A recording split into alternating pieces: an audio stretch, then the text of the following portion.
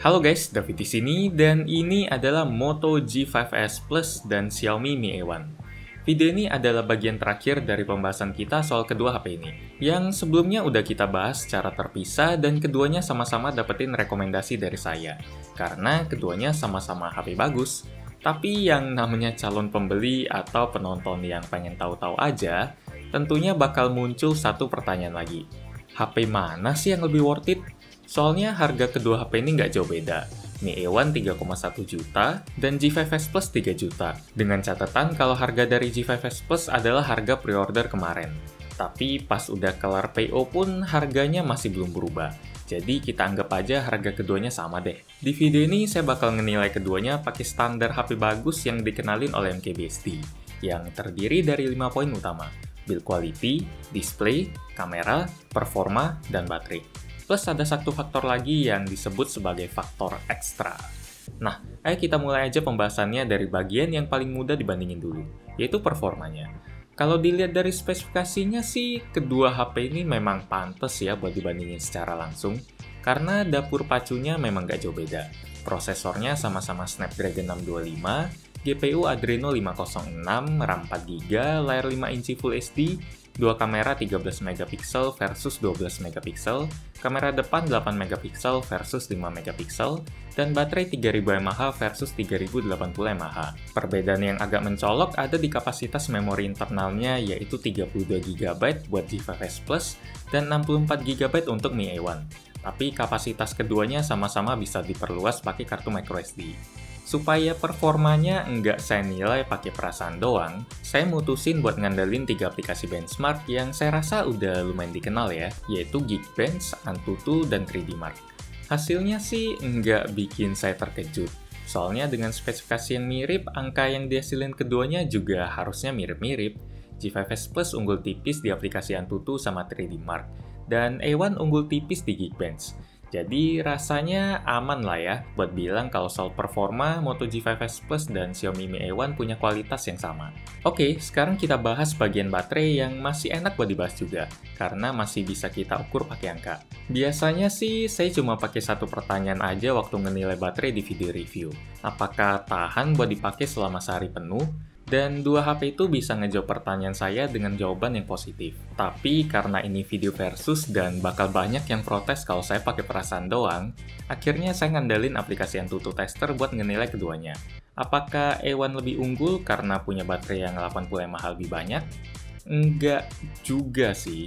Hasil benchmarknya nunjukin kalau keduanya punya skor daya tahan baterai yang berbeda, yaitu 8065 buat G5S Plus dan 6948 buat Mi A1. Selain faktor itu, saya juga berani natapin Moto G5S Plus sebagai HP yang sedikit lebih unggul di sektor baterai, karena HP ini punya fitur turbo charge yang bisa ngecas HP dengan durasi yang lebih cepat dibanding Mi A1. Dalam waktu 30 menit, baterai G5S Plus yang awalnya 0%, udah keisi hampir 50% sementara A1 sekitar 35 persenan. Sementara buat durasi dari 0 sampai 100 persen, G5S Plus butuh waktu 1 jam 43 menit dan A1 butuh waktu 2 jam 10 menit. Harusnya saya ngasih keunggulan mutlak ke G5S Plus karena fitur fast charging bakal kepake banget waktu kita lagi buru-buru. Tapi akhirnya saya kasih keunggulan yang sedikit aja deh, karena dalam waktu 30 menit pertama, kecepatan ngecas yang ngebut itu bikin suhu body G5S Plus lebih tinggi 5 derajat dari A1. Tapi kalau udah di atas 30 menit, suhu keduanya nggak bakal jauh beda, sekitar 31-32 derajat. Oke, sekarang kita bahas bagian display. Dan di poin ketiga ini, saya ngenilainya udah mulai pakai perasaan, atau lebih tepatnya pakai mata aja. Nah, Buat hal-hal umum kayak ukuran layar, jenis panel, dan resolusi, kedua HP ini sama aja ya. Sama-sama punya layar IPS 5,5 inci dan resolusinya Full HD. Menurut mata saya, warna yang dihasilin Moto G5S Plus kelihatan sedikit lebih kontras dan cerah dibanding Mi A1. Apakah itu berarti lebih bagus? Ya, enggak juga. Soalnya ada kok pengguna yang lebih seneng warna yang enggak ngejreng banget, tapi secara pribadi saya lebih senang warna yang kontras. Selain beda di tingkat kecerahan warna, layar kedua HP juga punya warna temperatur yang beda. Kalau G5S Plus kelihatan lebih warm atau kekuningan, kalau A1 kelihatan lebih cool atau kebiruan. Sekali lagi, buat selera saya sendiri, saya lebih senang warna yang kekuningan karena lebih enak dilihat lama-lama. Layar Mi 6 yang agak kebiruan aja selalu saya lapisin pakai filter warna kuning, mau siang atau malam. Dan sayangnya Mi A1 nggak punya fitur serupa sementara G5S Plus punya. Tapi ada satu bagian di A1 yang lebih unggul dari G5S Plus, yaitu tingkat brightness minimal yang bisa dihasilin. Buat bagian ini, layar A1 kelihatan jelas lebih redup daripada G5S Plus. Mode layar yang sebegini redup biasanya bakal berguna kalau Anda mau main HP di bioskop. Kalau layarnya terang-terang kan bisa ngeganggu orang di sekitar Anda. Sementara kalau slider brightness-nya kita maksimalin, keduanya kelihatan sama aja ya. Kira-kira kalau kita tempatin keduanya dalam kondisi terburuk, yaitu siang hari yang cerah di tepi pantai, layarnya bakal kelihatan kayak gini. Jadi untuk bagian layar ini, keduanya saya anggap imbang aja karena keduanya punya kelebihan masing-masing. Sekarang kita ke dua poin terakhir yang menurut saya sangat subjektif banget atau sesuai selera banget. Jadi tiap orang punya pendapat yang beda. Kalau Anda udah megang keduanya dan punya pendapat yang beda dari saya, ya nggak masalah, tulisin aja pendapat Anda di kolom komentar. Poin keempat, desain. Secara penampilan, kedua HP punya sifat yang berbeda banget. G5S Plus kelihatan berkarakter karena punya penampilan yang Motorola banget, sementara Mi A1 punya penampilan yang generik banget, mirip HP-HP lain kayak OnePlus 5 atau iPhone 7 Plus. Tapi walaupun keduanya punya sifat yang berbeda, saya punya pendapat yang sama soal penampilan keduanya, yaitu biasa aja. Oke lah, G5S Plus memang punya karakter, tapi tonjolan kamera di bagian belakangnya terlalu mencolok. Kalau A1, bagian depannya yang boring banget. Jadi buat penampilan, saya kasih nilai yang seimbang aja lah. Itu soal penampilan. Tapi kalau soal build quality, ceritanya beda banget. Kalau Anda udah nonton video review G5S Plus di channel ini, Anda pasti udah tahu kalau saya suka banget sama build quality bodinya yang kerasa kayak OnePlus 3T yang harganya dua kali lipat. Feel dalam genggamannya juga kerasa lebih mantep berkat desain melengkung di sisi belakangnya. Sementara buat Mi A1, bodinya memang sama-sama kebuat dari metal sih, dan bentuknya pun lebih tipis, tapi build quality-nya kerasa beda banget gitu sama G5S Plus. Mungkin saya bisa gambarin tingkat kekokohannya dari suara ketokan ini.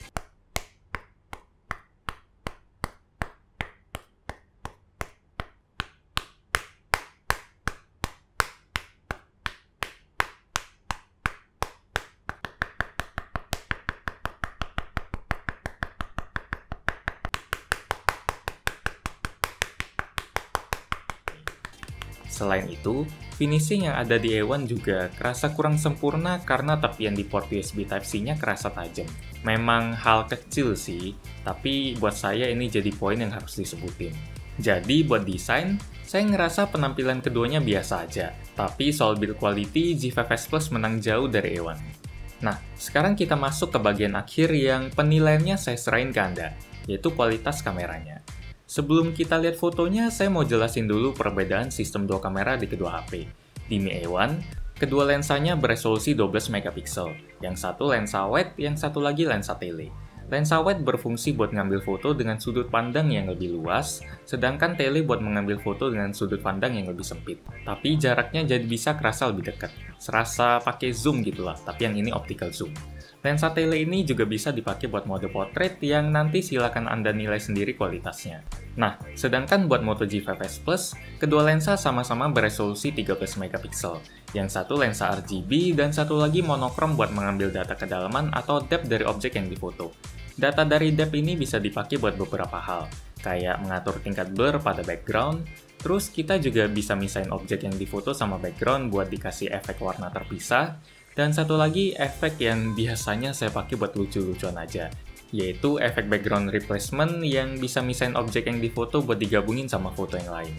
Sementara buat kamera depan, Mi A1 punya satu kamera dengan resolusi 5 megapiksel dan G5S Plus punya resolusi 8 megapiksel.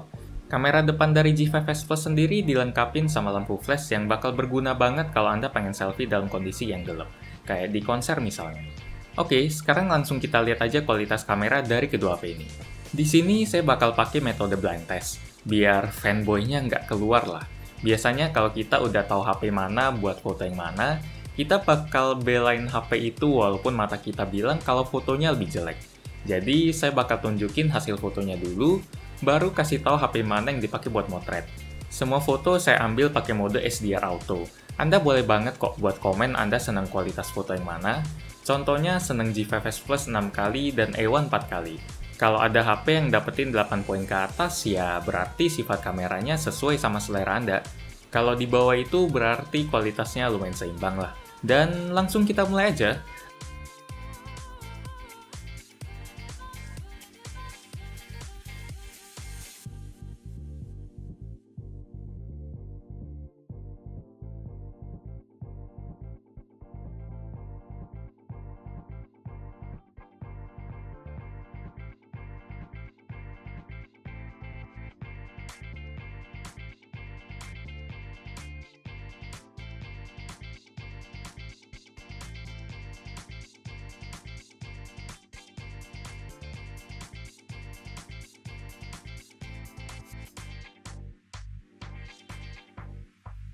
Sekarang kita masuk ke bagian selfie, dan abis ini video.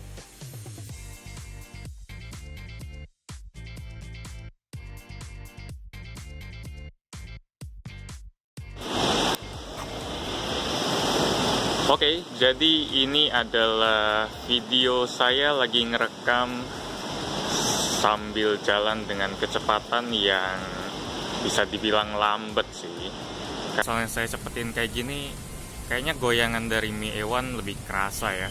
Kalau buat kualitas suaranya sebenarnya saya belum tahu kayak gimana tapi bakal saya bahas di lewat voiceover saya. Jadi kita lihat aja nanti. Tapi kalau dilihat dari previewnya sih kayaknya ini goyang.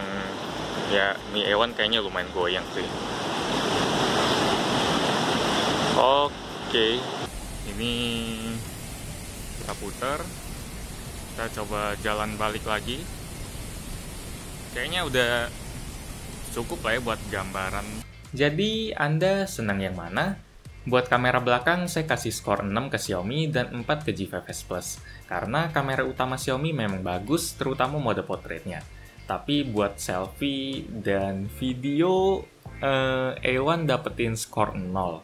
Karena ya mungkin Anda udah tahu kenapa ya. Sekarang kita lanjut ke poin terakhir, yang memang nggak masuk ke 5 poin di atas, tapi buat saya lumayan kerasa buat sebagian pengguna, yaitu ekstra. 1. G5S Plus punya NFC, Mi A1 enggak.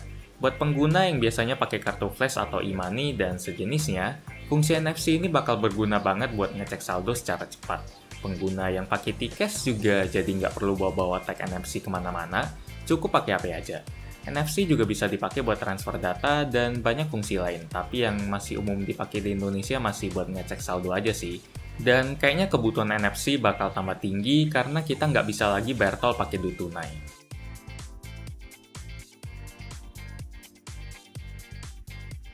Dua, Mi A1 punya sensor kompas G5S Plus enggak? Sensor kompas berguna buat, ya sesuai namanya, yaitu buat nunjukin arah mata angin. Kayaknya nggak perlu banyak dijelasin ya karena fungsinya udah lumayan umum. 3. User interface sama aja. Sebagai HP Android One, Mi A1 menggunakan sistem operasi stok Android yang didukung langsung oleh Google. Dan katanya udah dapetin jaminan update sampai Android Pay. G5S Plus sendiri udah dapetin jaminan kalau dia bakal diupdate ke Android Oreo. Kalau secara isi sih, tampilan keduanya nggak jauh beda ya, karena UI dari HP Moto memang terkenal mirip sama stok Android. Tapi saya ngasih poin buat G5S Plus karena punya fitur gestur yang praktis banget dan sering saya pakai. Kayak shake HP-nya buat hidupin center, plus twist HP-nya buat masuk ke kamera. Ada beberapa gestur lain juga, tapi saya cuma pakai dua gestur itu aja kok. 4. Mi A1 punya infrared blaster, G5S Plus enggak. Buat Anda yang sering mager buat nyari remote TV atau AC atau remote apa pun, anda bisa manfaatin aplikasi Mi Remote sebagai penggantinya karena Mi A1 udah punya pemancar sinar inframerah. Jadi kalau Anda lagi di JNE atau tempat nunggu lain dan pengen ganti saluran TV-nya, bisa. Asal nggak ketahuan aja. 5. G5S Plus punya FM radio, Mi A1 enggak. Fitur yang kedengeran jadul ini memang kelihatan nggak penting sih, tapi percaya atau enggak, nggak sedikit pengguna HP yang manfaatin fitur ini buat dapetin hiburan gratis tanpa pulsa atau koneksi internet. Jadi poin ini harus saya sebutin. Kita memang bisa sih nginstal aplikasi radio di Mi A1, tapi koneksinya pakai kuota internet dan bukan jaringan FM yang lebih lengkap. Nah, jadi kesimpulannya, HP mana sih yang lebih worth it? Jawabannya tergantung. Dengan harga yang sama, saya tanpa ragu bakal bilang kalau G5S Plus adalah HP yang lebih worth it secara keseluruhan. Waktu tahu harga G5S Plus ini, saya sendiri agak heran karena harganya ya lumayan gak masuk akal. Soalnya buat saya harga wajar HP ini adalah 4-4,5 juta. Kalau 3,5 juta pun, saya rasa G5S Plus masih lebih worth it dibanding A1. Tapi perlu diingat aja, Kadang-kadang keputusan kita buat milih HP memang nggak pakai logika ya, karena pasti ada masukin faktor perasaan juga. Jadi ya sesuai aja sama selera Anda. Tapi kalau Anda nanya selera saya, saya sudah kasih tahu jawabannya. Demikian video perbandingan gadget in untuk Xiaomi Mi A1 dan Moto G5S Plus. Like jika Anda suka dengan video ini, dislike aja jika tidak suka, dan kita ketemu lagi di video selanjutnya. Yuk!